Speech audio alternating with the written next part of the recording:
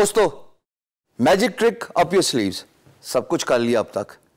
Mock-up सवाल relevant example एक चीज़ और है जो कन्विंस करेगी एम्प्लॉयर को long side the other three बाकी तीन भी उतनी जो इंपॉर्टेंस लेती हैं, वो है जनाब special offer sale sale sale Eid की खुशियों में निन्यानवे फ़ीसद प्राइस की कमी। निन्यानवे फ़ीसद कभी प्राइस की कमी हुई है। या फिर we are available twenty four seven को ट्वेंटी फोर सेवन अवेलेबल होता। है खसूसी प्राइस डिस्काउंट निन्यानवे रुपए, निन्यानवे पैसे, पूरा ही सो है, कोई एक पैसा वापस करेगा। ये वो स्पेशल ऑफ़र है दोस्तों। Think unorthodox think out of the plan ये मैजिकल मार्केटिंग गेमिक्स होते हैं। जो आपको वक्त के साथ सीखने पड़ेंगे फ्रीलांस मार्केट प्लेस में in order to get excitement from your employer इस केस में कैसा होगा? ये मेरी बेड है, आपके सामने मिस्टर रैनी साहब की। अब देखना मैं इसके साथ करूँगा कि स्पेशल ऑफ़र ऐसी दूँगा इनशाला इंक्लाइन नहीं करेगा। दोस्तों रेलिवेंट एग्ज़ाम्पल आपके सामने स्क्रीन पे मेरी बिड नज़र आ रही है, यहाँ तक मैं पहुँच चुका हूँ। अब मैंने एक स्पेशल ऑफ़र देनी है। और स्पेशल ऑफ़र इसलिए देनी है कि ज़ाहिर है it's a part of process to get an response from my employer it's a part of process to encourage my employer to open PMB मैं क्या करूँगा? देखते हैं। दोस्तों, जैसे कि आप स्क्रीन पर देख रहे हो, मैं लिख रहा हूँ कि I am giving you special offer to get your business मैं ये रिस्पॉन्स दे रहा हूँ, ये मैसेज सेंड क्रॉस कर रहा हूँ कि मैं as a freelancer Rainey you as an employer आपका प्रोजेक्ट हासिल करने में शदीद इंटरेस्टेड हूँ। ये आपको वर्ड्स के थ्रू बताना पड़ेगा। अगेन थोड़ी सी एग्जांपल दूँगा ऑफ़ टॉपिक तो मुसाफा हो गया, मुलाकात होगी कन्विंस कर लिया बातों से सामने रह के। But this is something which is online which is virtual employer बैठा होगा सात समुंदर पार कहीं बीच पे बैठा होगा, मैं पाकिस्तान में। तो जनाब, इतना डिफरेंस है।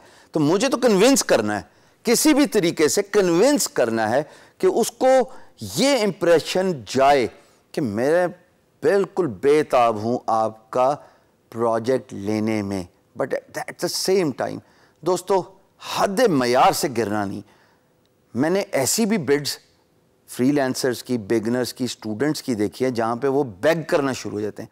Please give me your project I am dying please give me your project I am very poor I have to arrange marriage of my siblings my parents have retired there is no one to provide bread and butter on monthly basis i would be glad if you give me your project so that I can break uh, the money earning zero on my profile टूटी भज्जी गंदी टूटी अंग्रेज़ी बोलने से बेहतर है selective चीदा मुनासिब अल्फाज इस्तेमाल करके बिड कीजिए begging attitude does not work कशकोल लेके जब मांगने जाओगे कोई रिस्पॉन्स नहीं देगा इक्वल टर्म्स पे जाके बात करोगे, अपनी वैल्यू प्रोपोजिशन अपने आप को जानना हमने बड़ी डिटेल से इस बात, इस टॉपिक पे बात की है और आपको पता है कि अपने आप को पहचानना, जानना कितना ज़रूरी है। सो देर फोर यहाँ पर मैंने ये कहा कि मैं आपका बिज़नेस हासिल करना चाहता हूँ और आगे मैं लिख रहा हूँ I want to give you one month price of dollar one fifty for designing to code card a day Monday this is a limited offer limited offer sale sale sale निन्यानवे रुपए, निन्यानवे पैसे. कोई फ़र्क नहीं है. लेकिन limited offer offer expires in 24 hours offer expires in 48 hours ये वो बातें हैं जो मार्केटिंग गेमिक्स में आती हैं. यानी कि ये आपकी स्किल्स शो करती हैं.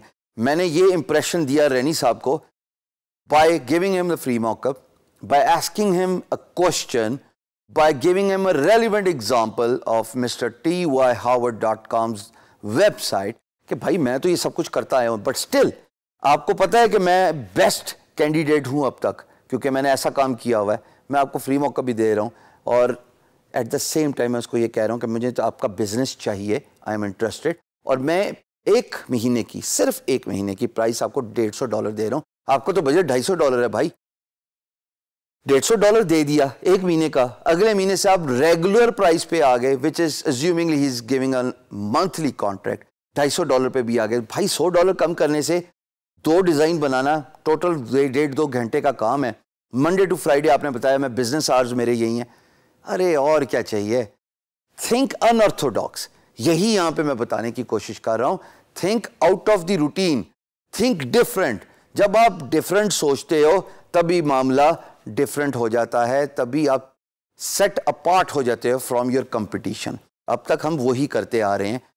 इसके बाद देखते हैं कि जनाब, अगली बात क्या है जो कि एक बिड को इफ़ेक्टिव बनाती है when you are bidding on a project अगली वीडियो पे मिलते हैं। जाना नहीं गई